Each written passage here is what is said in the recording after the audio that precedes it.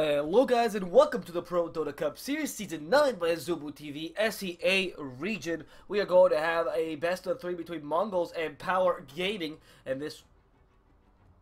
Mongolz and Power Gaming? Is this the... Uh... What? Hey, actually, on second thought, what the fuck are the brackets? Oh yeah, sorry, this is the lower brackets, okay. Yeah, gonna have best of three between these two teams in lowest bracket, so whoever loses this best of three goes down or out of the tournament. And whoever wins gets to stay for one more round. Power Gaming, who lost to Signature Trust, and Mongolz, who lost to Warriors Gaming, and quite easily too.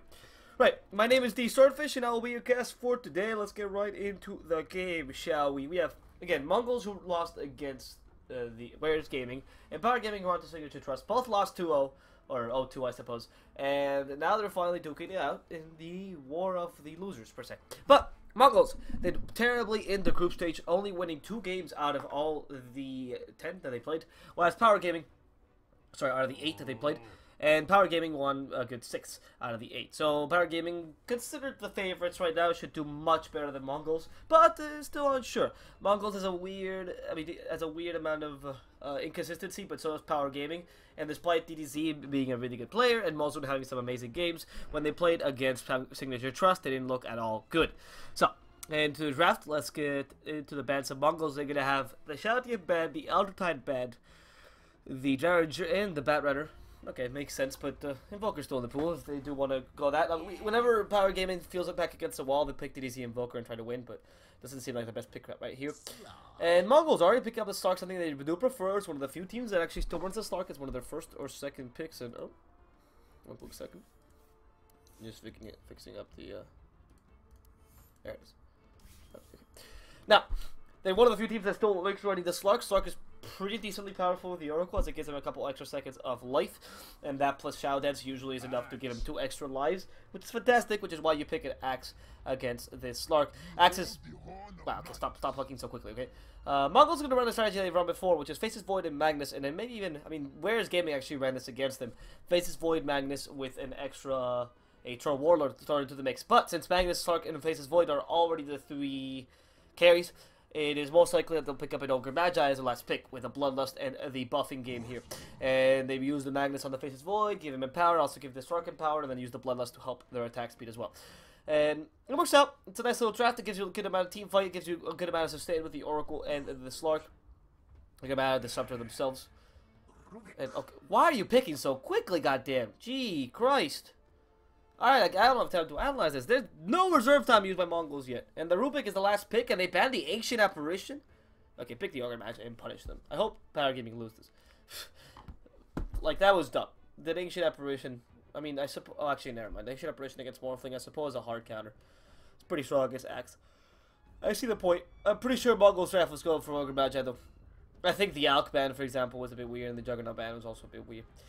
All things considered the Morphling pick is actually quite alright against a Slark, but it can easily evade it with a Shadow Dance. Yeah, so it's not that good on second thought. You can even evade it with a Silver Edge if not used properly. Projectiles are very slow. Even a Manta style could evade it on the Faceless Void, so Morphling strong against Faceless Void to begin with, but not really that powerful against a Slark who steals your stats and keeps hitting you, keeps hitting you, keeps hitting you. So if you do try to just go away with your stats, well, Mongolz is actually going to use Warriors Gaming. Like, Mongolz literally stole Warriors Gaming lineup, which is fun. It's nice, but uh, that's that's not really that much because, well, what what, what uh, Warriors Gaming did when they beat Mongolz was actually something similar. They used Magnus, Lich, Troll Warlord, and that was it. So they had three kinds of buffs: attack speed buffs, uh, armor buffs, and the damage buffs. And they maxed Magnus. They went Magnus mid, and they maxed his Empower first. And it actually does work out decently when you use that draft. However, Here, both Slark and Faces Void benefit not from mm, damage buffs, but rather from attack speed buffs. And that Troll Warlord was integral to the winning of the game for Wayne's Gaming, which is something that Mongol seems to fail to see. In addition to that, Lich, Lich doesn't seem to have much purpose in this game, as there's absolutely zero guys going to kite with a Lich except for maybe the Ogre Magi in the early game, that's it. So his Frost Armor is actually quite weak. And yeah, yeah, the Chrono plus, plus Chain Frost combo, which is alright, but that's a huge waste of a hero when you're up against someone like a Morphling. On top of that, you have to consider the Morphling, of all things, is one of the few carries that will actually deal mainly magical damage. Yeah, don't pause. It's not going to hit fix itself. Servers are destroyed. And that means that uh, the Lich pick is kind of a waste pick here. But then again, the Rubik pick is also not that great. I mean, I guess what what's your point? You want to steal the RP, but the RP is kind of hard to steal if, if Magnus plays properly. Uh, can RP and into an Empower, RP into a Shockwave. They've done well with a Shift Click. And if this guy knows, if Retribution knows to play Magnus, it should be fine. You can steal a couple of other spells, but the Slark spells are useless. The Chain Frost, I guess, is also alright, but the Frost Armor is most likely we're going to steal. Eh, doesn't seem like a good pick either. But it's solid regardless, and I guess you're up with an Ogre Magi. They're more of an experimental. Both of them are kind of experimental lineups. Power Gaming doesn't have much synergy. They seem to just play solid heroes because there's absolutely zero synergy in their team. Whereas Mongolz has a huge amount of synergy, but depends a bit too much on the Wombo combo with the Void. Um, completely lost the buff synergy that uh, the Warriors Gaming lineup went for, and they seem to just miss the point of what the Warriors Gaming lineup went for, which is sad because they lost it. So they should have really looked at the replay and thought, huh, did we really win that? Alright.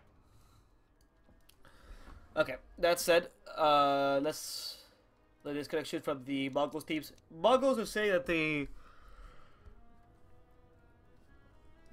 apparently apparently the ISPs in their country are having some serious issues today, and uh, what's happening is that they are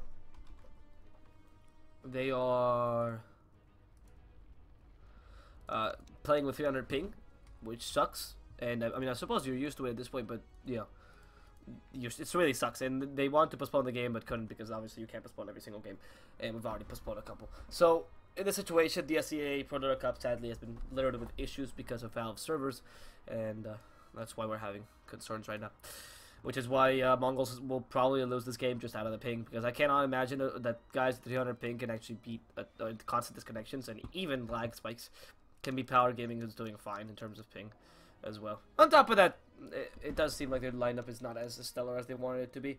Uh, but the lanes will depend a lot more. I mean, Warriors Gaming also had really strong lanes, and that was part of it. You know, meanwhile, Power Gaming has the better lanes in this situation. Ogre Magi, great laner. Rubik, solid hero in lane as well. Mirana, uh, one of the weakest one, but with the help of the Ogre Magi should be fine. And obviously, I mean, do I even have to mention the Axe or the Morphling, both of which have insane kill potential with the Waveform and the uh, Berserker's Call plus the Spin and the counter helix. And with that, you know, they can also not be killed. It's pretty hard. Yeah, I cannot imagine Mongolz doing too well this game. Unless they stole out of control. I mean, Power Gaming had the same upset against Signature Trust, where they had pretty good drafts, and they were also the favorites to win against a team that barely won any a single game. And then Signature Trust completely trashed them. So, you never know. Monsoon now going to Triple A.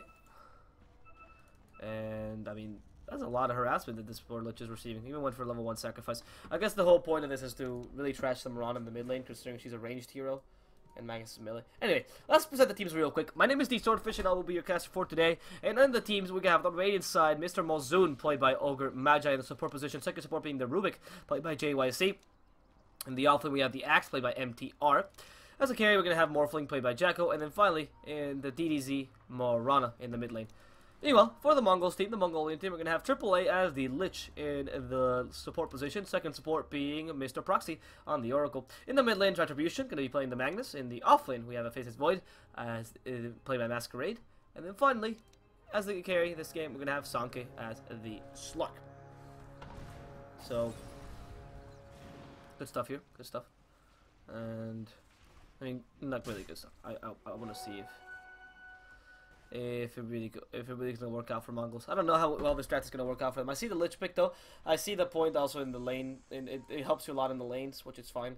But with the Ogre Magi harassment, I don't think they're gonna give a shit about lanes. It's not like DDZ depends that much on on the early game farm either, because she has a great farming mechanism in her Aghanim's, and later on even she can even get stacks if, they, if the supports want to. So even if they take a creep per lane, which in this case will always be the range creep, because not only does it does it push the lane for them, but it also helps you, or it also takes a lot of experience on the Mirana, and that's fine. You know, they, they're taking experience and whatnot is great, but I do think that Ogre Magi might want to go for kills, and honestly, a kill with an Ogre Magi and a Marana once she, once she gets level 2 or 3 should be pretty easy. And Sanke in this top lane, finding the Axe. Axe will get the last spin, and will kill him off, but MTR will also die to Proxy. The first blood goes to Power Gaming in a dual lane against a solo lane. Not particularly good for Mongolz, but again, it's not just the first blood. And we do see the Empower build coming out for Retribution with a level 1 skewer. Okay.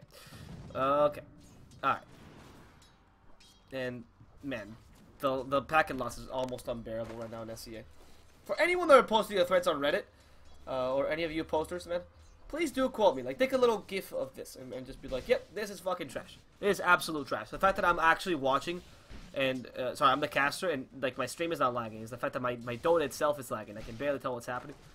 Like, seriously, the Morphling attacks Masquerade and takes me 6 seconds to actually register the damage. Anyway, a double, triple A being harassed uh, consistently, wait for him to finish him off, and, again, it's kind of hard to tell what's happening, but I'm trying to cast, but I feel like I'm casting with delay.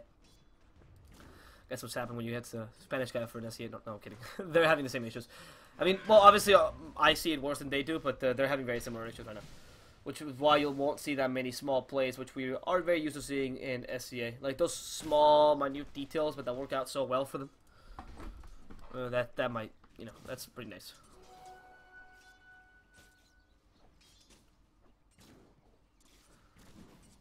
Anyway, let's see right now for uh, Right now, it seems like both Mongolz and Power Gaming are pretty even in these lanes. Not much aggression coming out. The Ogre Magi, surprisingly, not rotating to mid just yet. Has one level of Ignite, but can't quite kill the Magnus. It's a bit dangerous in a skewer. Not a bit dangerous, sorry. It's just a bit like not it's not easy to do really. He might want to rotate top instead. I mean, DX is suffering quite a lot against the Oracle. They're hitting him with a lot of magical damage, but he's trying to do the best creep skipping again and just harassing the uh, the Slark best he can. Look at that. Berserker's Call coming out, but that's a really dangerous Berserker's Call. We'll have to TP away. Can they kill him in time? No, they can't get the combo off. Because there's it was actually on cooldown. False promises on cooldown. Meanwhile, JYC in the bottom lane also being harassed quite considerably by the Void, and Masquerade is leading a pretty nice lane. The whole dual lanes idea by Mongol is quite fantastic, and no, we have a the whole dual lanes idea by Mongolz is quite fantastic. Really smart. Because they take advantage of the Lich, they take advantage of the Oracle. They're up against an Axe, who's particularly weak against an Oracle. So, I mean, he does counter the Oracle Ultimate, but besides that, he's quite weak because of the Purifying Flames deal too much damage. Masquerade now with the Ignite has a net time lock in 10 seconds. That's too aggressive. Oh, actually, no, it's, it's just level 3 Void. What can you do as level 3 Void? Went and played a bit too aggressively, and then with a high cooldown on, on the Void Block. That's what happens when you use the offensive Void Block. Or, not Void Block, Time Block. Void Block. Easy, almost caught out. Purifying Flames will finish, finish him off. Skewer coming in. DDZ has to fight Retribution head on. But will go down Retribution as the Bolt comes out Starstorm as well. They want to kill this Magnus and they will accomplish it. JYC at least getting the counter kill, the revenge kill. Not that bad. Could have been worse, honestly.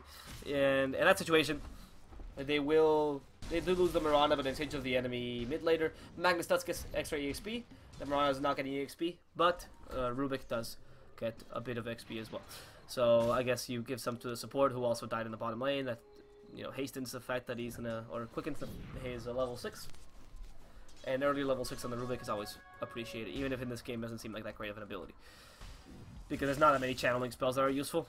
I mean, unless you want to steal like what I mean, the, the RP could be a great thing to steal by the Rubik, but I don't think it's going to be that easy to do, unless Retribution plays badly.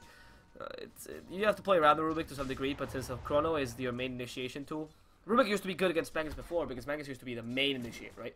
So you keep the Rubik out of the out of the uh, initiation, you keep the Rubik, you know, away from the Magnus, and you're pretty much set. But right now there's a Chrono available.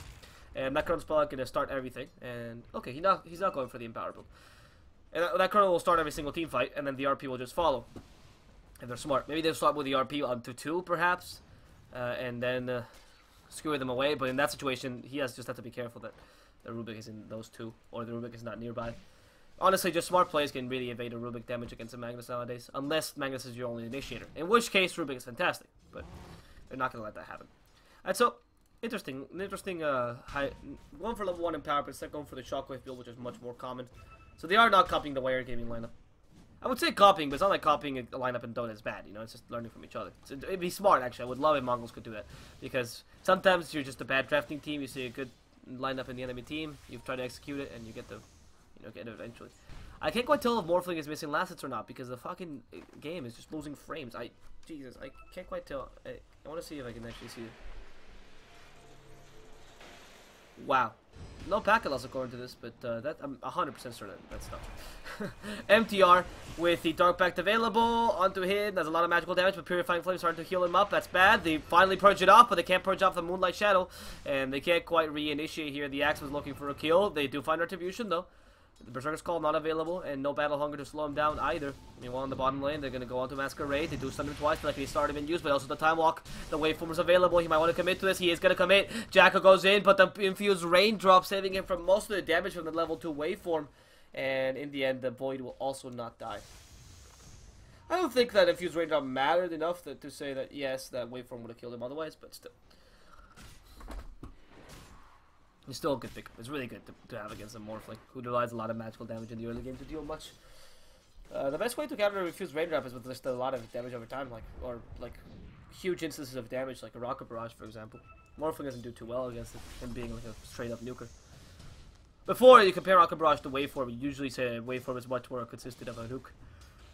But now, it's actually nice how Infused Raindrop takes the games like nukers have been complete in 90. And oh, you see Lich in trouble. Lich with the Frost Blast. Is the Frost Blast good enough? The Waveform did a lot of damage to him, but they couldn't quite get the Ignite off, or they didn't even deal enough damage with the Ignite. And now Mozu could be dying. Slark can't quite decide who to go on. He finally gets the pounce off, luckily enough, and Mozu will be going down in the end. However, that was uh, unfortunate. That was not too great by this Slark. Not only went to go on the Morphling and the Ogre Magi, and he barely grazed him with the pounce. Or at least that's what it seemed like in my in my uh, Dota screen. So, I mean, he got the kill in the end, but I guess he could have been better. I feel like they have a lot of lag.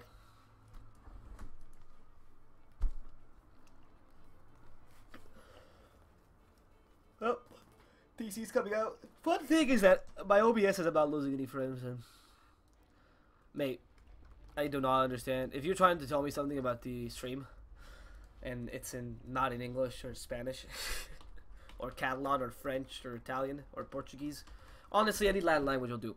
But I can't. There's no way I know what you're saying. Oh, you're speaking Korean? Okay, according to Google Translate, this dude in the chat is saying. Oh, power Gaza Power Gaming. Do never pushed. Get more than one inner circumferential surface.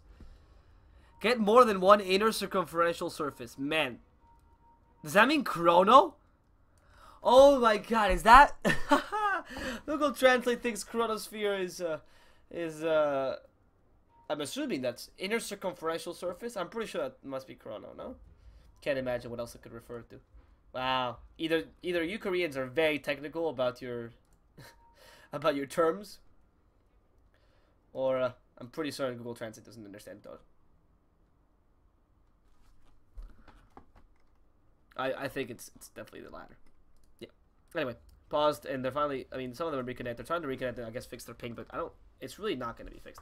What's surprising me is that uh, Dota is so fucked that it, it can't even tell me my proper ping.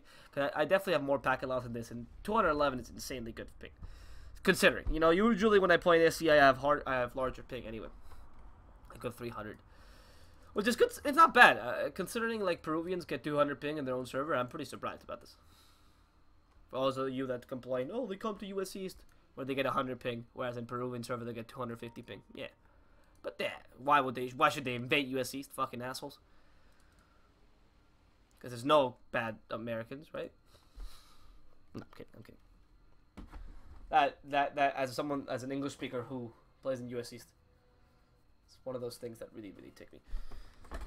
That debate. Because like especially in Europe, we don't complain. I don't complain about Russians, man. Russians are much nicer. English-speaking people are the worst. I don't know why people think that. because you can understand exactly what they're saying. And it's fucking terrible. And they won't communicate. I don't know why people think that they will communicate. They won't communicate either. But this, you will can understand when they insult you as well. Anyway. Slark and Faces Void banned out, uh, sorry, disconnected here, and get back to the game. I mean, if you look at the net worth right now, the stock is leading by barely anything. There's not much difference in the game.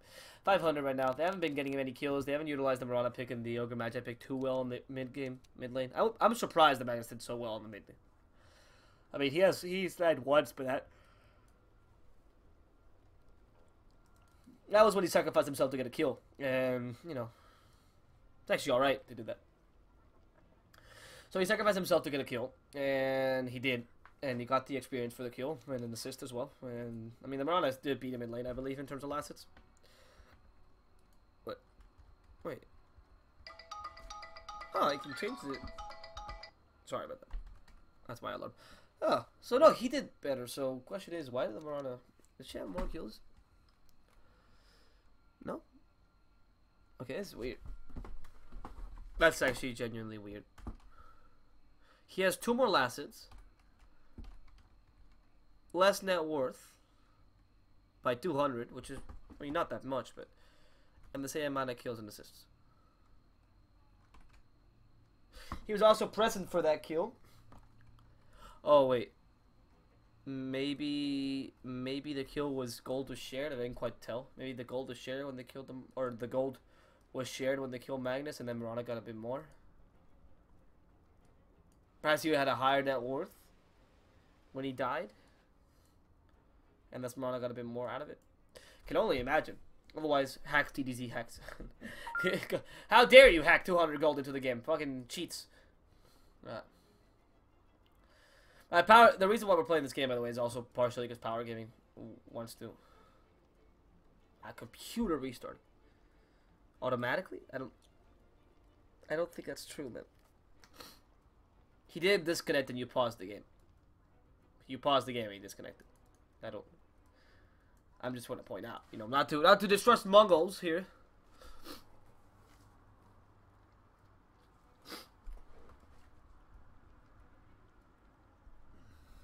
But uh, that wouldn't happen. Yeah, everyone has packet loss, man. The casters have packet loss, man. Most of the frames I, I'm missing here. Ah, hey, Swordfish. Ah, what's up, Tush Tushik? What's up, man? How you doing? I actually don't recognize you. you don't talk much, do you? But uh, welcome to the club, man. Welcome to the DSwordfish Club. I wish I could talk to them, but it's not proper to talk to the players when you're casting. Otherwise, I would and tell them that yes, yes, yes. I don't think it's Underlord really screwing over the servers, though. To be fair, SEA servers have been really, really bad lately.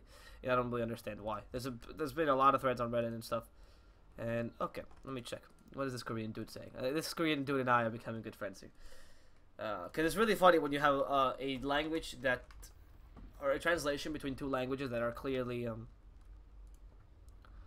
Let's memorize the order of the victory. Wah, rear. what? When you have two languages that, are, that have very different grammatical structures, like for example Korean and English themselves, Google Translate has a really hard time. Uh, or really any translate has a really hard time. I understand that, but particularly Google Translate, which is not the best translator in the world, obviously because they translate to sixty thousand languages. Um, I can, as someone who has who dates a Japanese person and sometimes want to do like special things in Japanese and whatnot for her to remind her of her own culture, and who doesn't speak at all, and is trying to learn. Um, again for his girlfriend it's definitely a uh, a problem because the, the the since the grammatical structure of the two languages is so very different, you it's really hard to translate it properly because there's a lot of like especially when they don't speak in, in proper formal language, which is obviously I mean the proper formal language between like the casual language between English, the slang is say between English and proper like really big slang between English is considered really uncultured, so it's not that common. But, but uh, slang in like language like Spanish, Japanese, Korean, etc. is it's not that uncommon, and the grammatical structure changes a lot between the slang in English and or the slang in, in for example Spanish, or the formal Spanish, and then it's really hard to translate otherwise because obviously you're not going to tell Google Translate how to fucking understand the, the slang, right? So yeah, but hey, Korean dude, if you, it's a pleasure to have you on stream. Also, sometimes Google Translate might not be able to you know, recognize what the actual language is. And many times, especially with languages that are similar, like you would put like French or Spanish in. Actually, not not in that case because they're too they're too well known per se. But if you could put like Romanian, uh, not Romanian actually, any other Romance language is alright. But for example, my, the language I speak, which is Catalan, sometimes you'll put it in and it won't know if it's Catalan or Spanish or French, and uh, it'll translate from the wrong language, and then you'll get like a half translation. Especially when using slang, because then it doesn't recognize most of the words.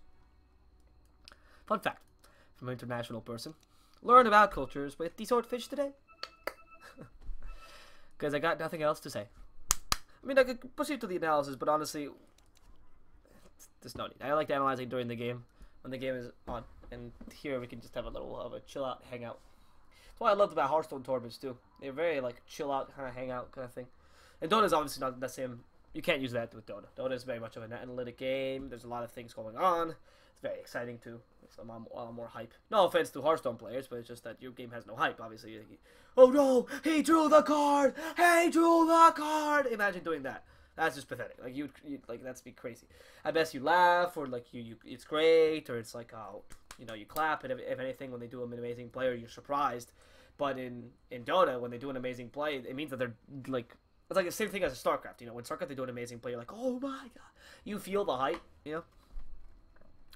It's like someone getting hyped over a chess game, which is the same idea as Hearthstone. I mean, Dota is like a football game because you don't actually see the players moving, so technically you only see the heroes. So as far as you're concerned, it's a football game with much more movement. And I say football. Um, but I mean, I mean soccer. I mean football because I, I live in England. And hey, Midor Peru. eh, saludos a Chile. ¿Qué tal? ¿Cómo estás, compañero? That's like, what? What did you just speak? Yeah, sorry, I'm Spanish, man. nice to meet you, man. I don't know if you might, maybe you've heard of me casting in Spanish. Probably not, not that well known. I have like 2,000 likes or something. But yeah, nice to see you, man. I'm assuming you have some bets rolling in this game. I'm glad that you you follow SEA Dota. What time is it there in Chile, man? It must, it must be pretty early. Or pretty late, actually. I don't know. I mean, it's, it's 10 over here. 10.30. in Spain to wake up every morning at 10.30.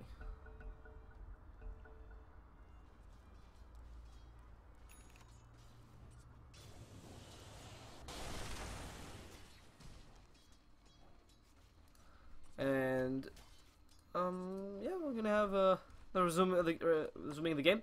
Everyone's back in. Computer's restarting. Windows 10 has been updated apparently, and now everyone is set to continue the game. Right now, uh, I, was, I was commenting earlier how it doesn't seem like Power Gaming is really using their regression that well in the early game, but they're also farming pretty decently, and they have a Morphling. It's not like they need to do that.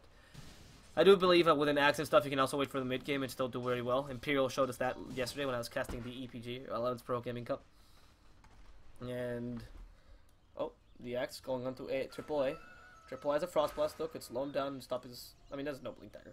It does seem like MTR is also going for Blink over Vanguard, which I do like. Because you're having an axe with not that much farm. You're not going to get the Blink Dagger that early. Vanguard won't do much in terms of initiation, and you have no other initiation. Because the Mirana Arrow doesn't really count as initiation, because it's more of a luck-based thing. Like, honestly, yeah, Mirana Arrow involves skill, but at this level of play, when you assume that everyone can play Mirana pretty well, it's more of a luck thing, right? Because it'll it has to you have to determine the enemy path, and sometimes it'll be a really good arrow, but sometimes they'll just move in a weird way, and, you know, you just cabin to catch them. And, oh, Sanke. But of course, these pro players know the arrow's coming, they're much better, they will never catch an arrow, which is something that I love doing in my, in my pub games, which is, oh, I see an arrow, I go and grab it. For some reason.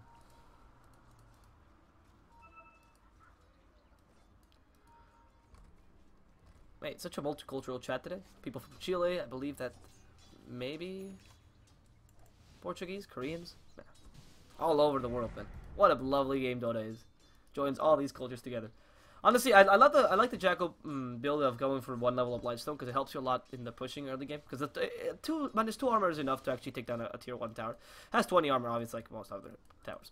Uh, well, actually 20, 22. Oh, I didn't notice that. Okay, these have 22, but uh, the minus two armor is, is enough to deal a, a bit of, of extra damage. And since the tier one tower is also easier to take down, Pretty nice. And it can also harass the Void a bit more, gives you a bit more physical damage, which is nice on the Morphling. Uh, since you're going to go for Dragon Lance early anyway. It's pretty nice. I hope this guy does not go for Linken's, though. Honestly, Jacko seems to be unable to deviate from the Linken's build for some strange reason, and there's absolutely no reason to get Linken's in this game. Like, are you going to stop the Purifying Flames with the Oracle? No. Like, that, you don't care it's shit about that. And the Chain Frost will bounce anyway, so this you're not going to block that either. Then Magnus, Slark, and Oracle have nothing to that's nothing. Absolutely not. Sorry, Magnus Slark and uh, Void have nothing that you're going to block with the Linkens. So there's absolutely no purpose to gain the Linkens. So please sell that Ring of Health or make it into a refresher. I don't care. I'd rather use. I'd rather see you with a refresher of Vanguard than with a Linkens this game, Jacko. The stats are not that good. Buy a Ultimate Orb and you'll be better off. Seriously, people don't know how to deviate from builds anymore. I want to watch Dota Hatch. Yeah, sorry about that. The the SEA servers are not doing too well. That's not me, by the way. It's, uh, or well, it is me, but like, I'm seeing the same things you guys are seeing with lag spikes. I'm gonna stop saying that. Sorry about that. Moonlight Shadow now. One, two, three people. And I mean, mainly these three people. I guess in the bottom lane, you could also say something, but they're not gonna fight anything. I mean, the Rubik plus arrow is pretty nice combo because you can usually telekinesis them into an arrow, and it's, it's rather easy to pull off. But in this situation, I mean, I don't think they're gonna find the Slark really easily. He's Sanke is very unaware here, he should be okay. Oh, the Berserker's call. The arrow's gonna come in, and no Dark Pact to stop this. So Sanke is as good as dead. That arrow did hit him, by the way, and then the Culling Blade to finish him off. Now they go on Jackal, though. They even use an RP. They commit everything to this. The Chrono's available, they can keep morphing in the Chrono. The Frost Blast as well. But Jackal somehow not going down. They commit the Chain Frost. Three ultimates, but it's worth it to beat this pool of water. This this puddle of, of, of crap. And Slark died. Uh, they used an arrow. Uh, Berserker's Call. Morphling died, and they used three ultimates. And, and now, if, especially with Chrono level 1 being really, really huge commitments, because that's a huge R huge uh, cooldown. The RP is also pretty good cooldown. Uh, the only thing committed by the Power Gaming team was really the Moonlight Shadow. So they should force a team fight now, because they know they have barely any team fight ultimates. Or try to force a team fight of some sort. They have an Axe, and Axe is like a team fight ultimate within himself, right? And now go on to Sanke. What is Sanke doing? Okay, apparently just killing Muslim. I'm going to leave him here to die. Bad positioning leads to death here. As Mongolz take advantage of the situation. Meanwhile, Axe comes in. Axe grabs two. Proxy could go down first. Sanke will also follow. And now with the extra movement speed boost, they're going to go kill a Lich. And this poor Lich, what can you do? Oh, frost armor yourself. Yes, please. To two guys that deal mainly magical damage. Let's see how that's going to work out for you. Triple A. Oh, Ventilican East, and then killed by Culling Blade? It's almost like Frost Armor doesn't serve you this game. Oh. Meanwhile, MTR going against Retribution. Oh, what an arrow! What a great arrow by DDZ. That's a pretty long arrow, too. Berserker's Call now. They're perfectly chaining these stuns, and they get another kill on to the Mongolz team. Again, perhaps, perhaps the drafting is just a bit better for Power Gaming. Also, it does seem like the Slark pick might have been a bit too early. Unless Power Gaming would have banned it as a respect ban, which doesn't seem like it would be the case because they don't seem to have respect for any teams. Uh, I mean, we saw them play against Signature Trust, and they said, "Oh yeah, they can play whatever they want," even though Signature Trust picked their their, their signature heroes, pun intended. And never mind, you're from the Philippines. I was I was, I was basing I was basing it from your uh, name. Huh, that's interesting. I thought your name was was uh, Portuguese, but of course, Duterte from the Philippines. Sorry, I, did, I don't know why I didn't think of that. What what team is Filipino? Power Gaming? Okay. Anyway, the draft seems to be much better for Power Gaming. And uh, against Mongolz, against uh, Gaming did something similar where the draft was quite worse. Unless you're gonna ban respect ban the Slark, I don't think a third ban, a third pick Slark is that great. You can leave it for the late late stages and decide if it's a good pick, because the Axe heavily counter him, the Morphling pretty counters him, and yeah. You really do. DDZ going down bottom. Masquerade. Did you find someone with a chrono?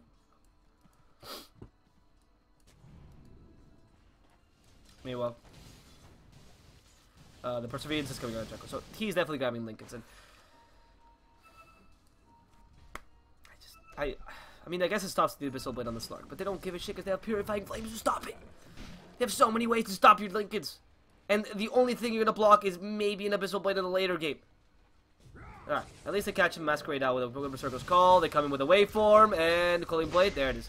I don't know if he was taunting it. That was just a mistake by Dota, but good RP though. Catches three and almost kills MTR. They kill him off in the end. Jacko starts morphing strength. Head's not the best of choices. Now should start morphing strength. And Sanke will start fighting him. Not the best of choices here by Sanke either. As he gets hit by the Mirana pretty hard. And no ags on her. But uh, they should be able to kill Sanke anyway. No, he's healing up perfectly thanks to that uh, ultimate. And Proxy gonna be beaten down by the Ogre. Rubik still wants to fight this. They'll kill Proxy. And now Sanke trying to go on DDZ. DDZ doesn't care. He regained all his mana. And now they're finally going on the Lich. But the Ogre is the only thing being kited by that Frost Armor. So at least I guess it's a bit effective. DDZ now being targeted by Sanke. Sanke has no mana left though. And they could really utilize this efficiently. If they get him with an arrow. No, there it is. That's uh, quite a mistake of an arrow. There was Okay, JYC keeps giving people mana. Okay, that's the Arcane Boots. Uh, the the Fire Blast could have been used on the Ogre, and then they could have killed the Slark really easily after the Dark Pact. But I guess they didn't want to commit too hard, especially considering most of their team was not there. So you know they could have they could have been countered as well. Now Blink Dagger on Magnus.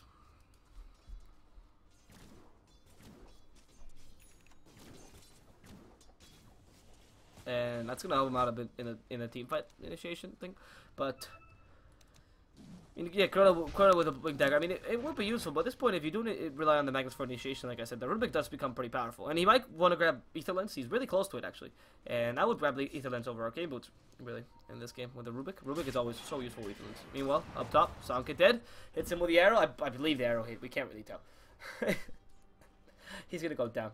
That gives them that gives them of Aghanims. Again, Aghanims 15 minutes in with Aquila, with with Bottle and Phase Boots. That is fantastic. Gold per minute is around 500. That is really really good.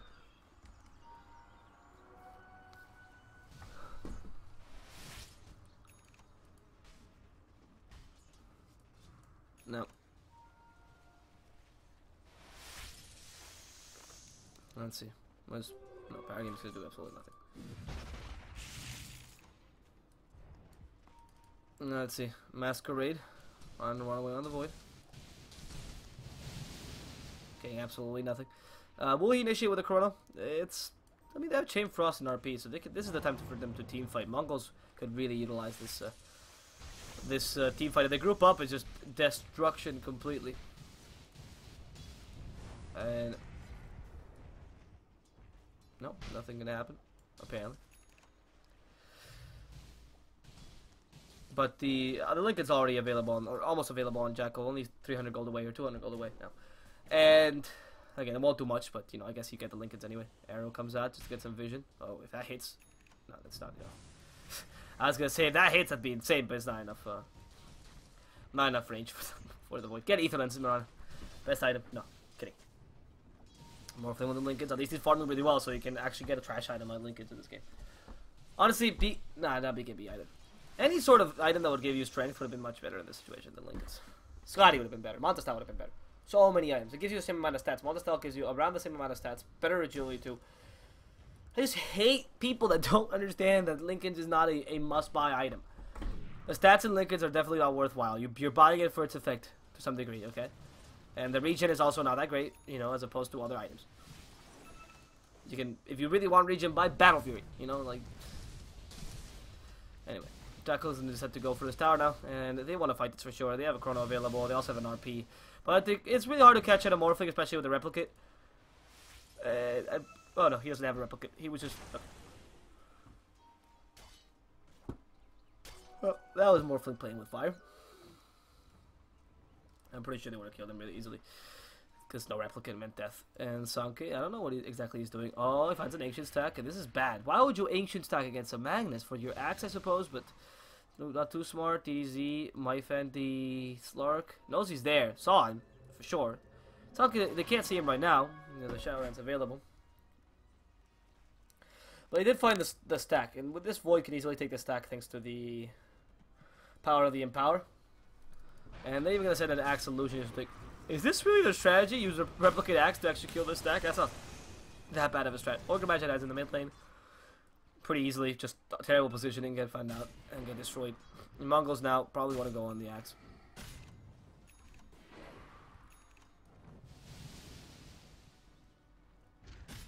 Yep, that's gonna be an easy kill on the Axe. Oh, they said they're gonna take the Ancients. Alright, fair enough. They took two Black Dragons. That's a lot of gold. That's 200 for H. That's, that's almost like an Necronomicon creep. Or two Necronomicon creeps, rather. And that's pretty great for Mongolz. Uh, but at the same time, they're still losing in terms of gold. The gold per minute for Power Gaming is considerably higher. And experience are also winning by a good by a good 3,000 or so. So they're doing pretty well.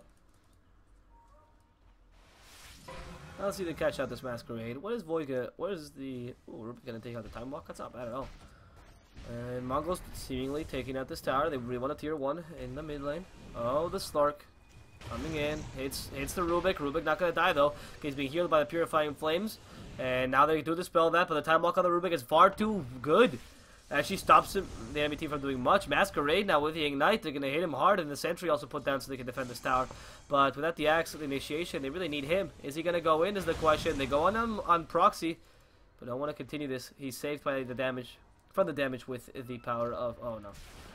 The sentry's there. They know there's a sentry. They stop MTR. There's the chrono plus the RP. The RP brings him right into the chrono. And now they're going to kill one. The Chain Frost comes out, but a bit too late. They do kill two, though. And DDZ will be the last one to survive here. Sanke has been saved now by the damage from the Oracle. And they sh he should be alright. He should be completely healed now. The arrow comes out, does not hit Masquerade, completely misses Jackal, trying to destroy some parts of the enemy team. And now Mozun is the target of aggression. They're going to hit him twice. And Mongolz completely destroying this poor Ogre Magi as DDZ blinks in incredibly aggressively, and please punish that. Please. Gee. What? Okay. DDZ is okay. I take that word instead. I'm surprised. I mean, he was doing a bit of creep skipping, that's fine, and he had a leap, so that's okay, but they should definitely punish that. There it is. DDZ now being punished finally. He has a leap, but he can't because there's a goddamn Slark on the enemy team. And you can't leap away from that pounce. And you have no way to dispel that. So yes, you died, DDZ, because that was a terrible play.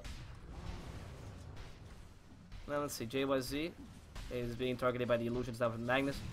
And in he comes, failed skewer, but at least he hits the tower. To look. He needs to bring him back. Retribution in trouble. There's a Battle Hunger to slow him down a bit as well. Can they catch him? There it is. The axe comes in with the Berserker's Call. Retribution as good as dead. Nothing much he could have done there except for die. Because, I mean, he was a bit too hasty with the skewer. You know, it's only level 1. It doesn't take you that long of a distance. Yeah, Shuriken, the Rubik is good, but your Magnus dying is much worse. So that was not a... If, if you analyze the risk-reward in that play, there was absolutely no way you would have done it. He does at least grab his force staff before he dies, though. Which is going to help him when he does those suicide skewer abilities. Yep. Cool. Sanke be well is also farming decently well now that he's recovered a bit. Morphling with uh, the uh, 11,000 net worth, but considering 4,000 of that is, or 5,000 of that is up to the Linken's, that's actually 7,000 net worth really. So it's not really that great. And the Eaglesong finally coming out, so he gains E-Blade early. Great. Meanwhile, the Mirana herself does is doing really well with the Blink Dagger and a Aghanims. That Blink Dagger axe being quite fantastic because it deals a lot of damage to the Slark. Mainly, that's the goal. And once you combine it with the E-Blade, that could be an intense amount of damage. E-Blade could have been grabbed a bit earlier by the Morphling, too. If you could deviate into the Adaptive Strike build, that would have been nice, too. But we're not going to do so. At least the Void can recover form easily thanks to the Overpower. Or the Empower, sorry, not the Overpower. And with that, I mean, he can recover farm easily using the ancient stacks and whatnot, and he can still become a carry in the late game, but he's going for utility right now, which makes perfect sense. I mean, you have a Slark anyway as your main carry, and Slark is one of the hardest carries in the game. In the late game, he does fantastically well as long as you play him well, and he's uh, he's against the right lineup. Unlike other heroes, he just doesn't he just excels against certain lineups, and Morphling particularly is not the best hero, but and neither is Axe. But besides that, you know, he's all right. So you let him be your main carry anyway. You have a Echo Saber, you can easily get kills on the enemy supports. You can kill the Rubik. And again, like I said, he's not the best against Axe or Morphling in this game. I mean, he's probably going to be heavily countered in the early game, but later on, obviously, Slark doesn't really care much. The Morphling will be an issue, but you can evade it with a Shadow Dance, so... That's the main thing, too. The projectiles for Morphling are very slow, so any sort of invisibility is quite mm, damning for Morphling, as they can evade both projectiles with, with invisibility or Shadow Dance. And many, many situations you can actually survive. You want area damage, if possible, against Slark, rather than projectiles. Because the reason he doesn't never gets Linken's. Like, even there could be a Batrider in the enemy team and he doesn't get Linken's. There could be a Beastmaster, you know, the best heroes to get Linken's against, and he will not get Linken's. Does not give a shit. Dark Linken's would be one of the most terrible pickups out there, because it's a Dark Pact to dispel any sort of stuns, and the Shadow Dance to prevent any of uh, the projectiles. Uh, Morphling has a regen, or sees regen rune, I suppose. He only has 900 health, though, so he's actually popped by the start.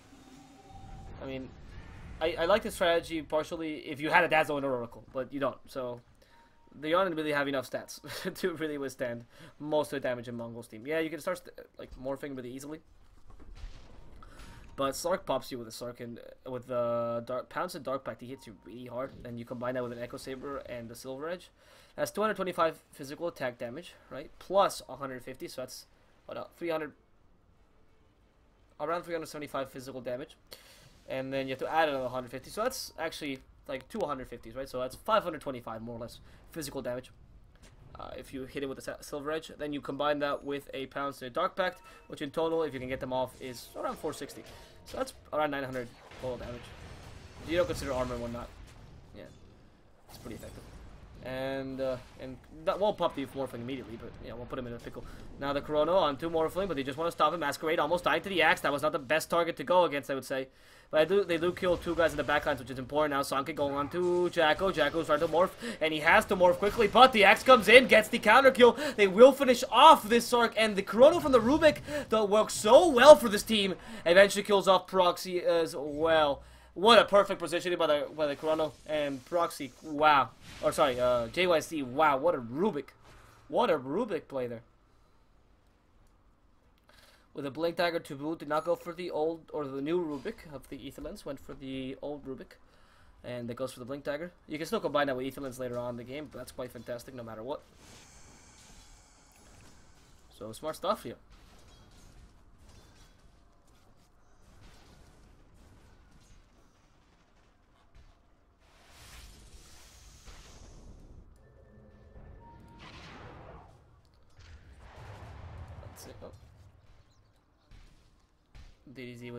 Moonlight. Oh, sorry, with the. Uh? Man, this is terrible. I can almost see the arrow going for a good 60 more minutes. It's so hard to cast a game where you have like you see 30 frames a, second. It, eh, this is, I guess, this is what it feels like to play on console. It on console. Imagine that.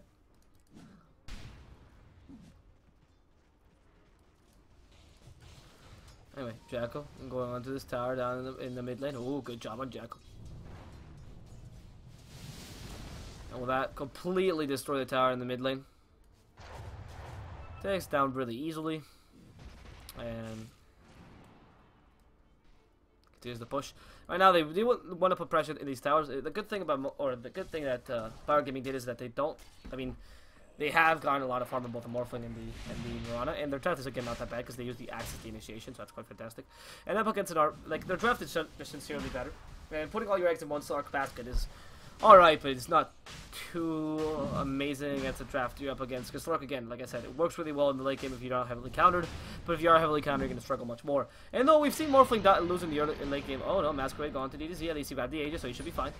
They get him with a Battle Hunger, but uh, should be fine, honestly.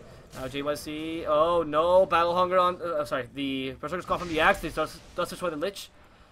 Malzun with the, the arrow barely hitting anything. Mongolz now being healed, or Proxy now being healed, sorry. It is the Michael onto Proxy, has the Starstorm, will kill him off. In the end, the E-Blade will even be committed to this. And the dust comes out, doesn't quite hit anything. But with that... Was that... Was that Chrono used? I couldn't quite tell. I believe it was. Couldn't quite tell because most of the time this is just lagging like to infinity. Now Manta Style finally coming out on the Morphling, which is good because that's going to give him more stats. I, am more I love the Skadi more, but you know, Pontus is also fine. Would have been a better substitute to Linken's. Just saying. Where's our, where's our good friend, uh, the Korean dude saying? I believe Power Gaming. Where you're. Yeah, Power Gaming should be able to do this. I mean, we're, really dumpstered Mongolz, but they are the best team in the in the tournament right now, or they do seem like the best team in the tournament. You should trust seems to be back. And considering Signature Trust is a tier 1 team, I am glad that they're back ever so slightly, you know? Because uh, I, I, thought that performance in this tournament was not exactly what they... They could have done better, essentially. Okay, let's see. Lich? Oh no, it was easy catch up at the axe. Sees him, doesn't want to commit. I guess he's the Void too. Does, they don't see the axe, which is insane. Axe has decided to become a ward this game. and uh, he hasn't initiated on anything, but they don't. They do know the Lich is around there, which is a bit weird. They haven't tried to kill him. Now the Void might find the Morphling, but the Morphling might find the Void. Easy kill. Getting really close to him, so the projectile speed doesn't really matter. There's the E-Blade. He did use a Time Walk. This time you commit the E-Blade down. Nope. Blade Dagger is available. And Retribution does die to the E-Blade, so I guess that combo did work out regardless. And killed off a poor Retribution. Now they see Sanke, Battle Hunger onto him, has to pounce away, loses his invisibility. The Moonlight Shadow is up though, and Oracle comes in, but in the middle of the enemy team.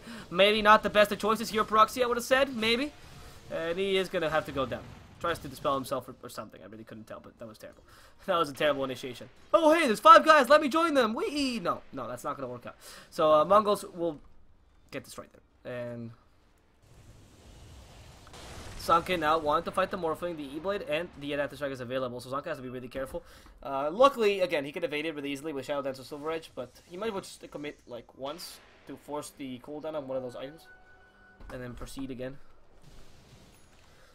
I mean, if you force the cooldown on the Shadow Dance, it's quite fantastic. If you force the cooldown on the E-Blade, it's not too great. Let's see. Jacko go onto this tower. The the armor's up too on the tower, and Sanke wants to initiate, but he's gonna be caught out. Jackal could easily finish him off. That's what they wanted. The E-Blade to kill him off really quickly, and the waveform, which extends for miles, does manage to kill off the Lich. They're gonna now take down the tower in the mid lane. Good job on Jacko and MTR. Now, can they, can they kill off maybe Proxy or something of the sort? No. Not to be found out in that situation.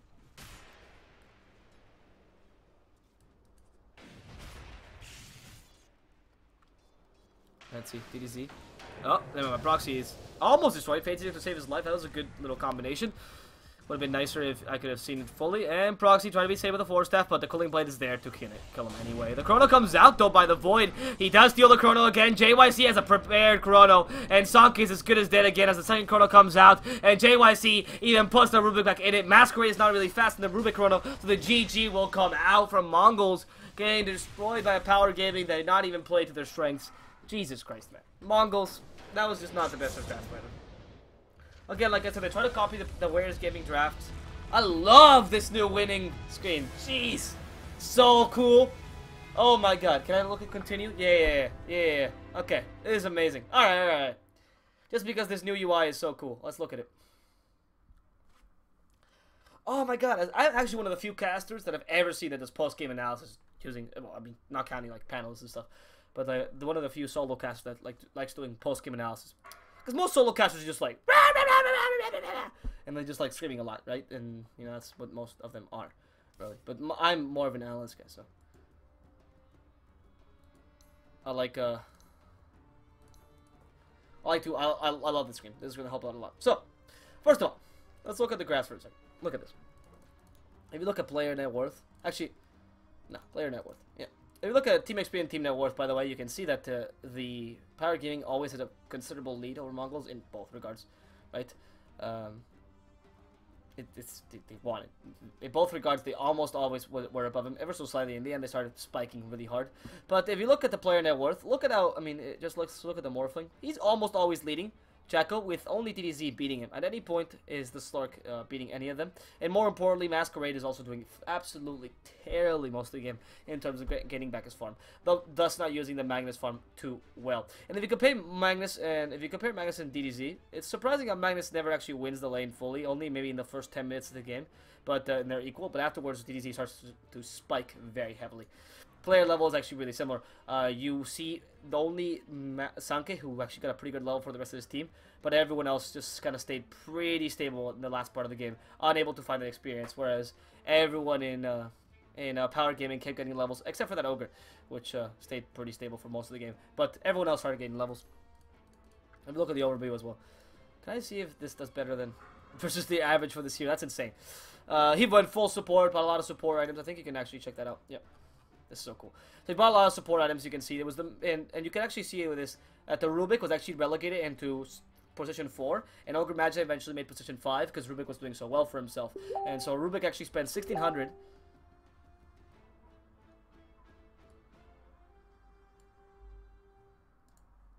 Okay, so uh, Rubik actually starts the uh, spends a thousand gold total in support items, whereas the, Mag the Ogre Magi spends sixteen hundred, and you can actually see in comparison um, the items they bought.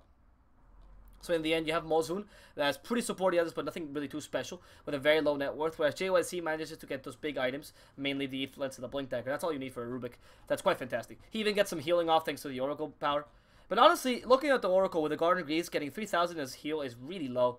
Uh, Masquerade got even 150 with the Bloods. It's really low for an Oracle to do, and that's because he was completely cancelled most of the time due to terrible positioning. Uh, he killed a couple heroes in the early game, and it's surprising because Proxy got a lot of kills, but I wish I could see who killed him. Ah, yeah, there's, there it is. So if you can see who killed him, Axe killed him multiple times because he was found out a lot. Jacko as well. And then finally DDZ. Anyway, we have to go to the second lobby. Sorry about that. But uh, hope you enjoyed the, the late game analysis. My name is D Swordfish. Hope you've enjoyed the game. And do follow me on Twitter if you did. Hopefully next game is a little bit less uh, laggy. Until then, guys. Oops. No, nope, that's Pokemon. Sorry about that.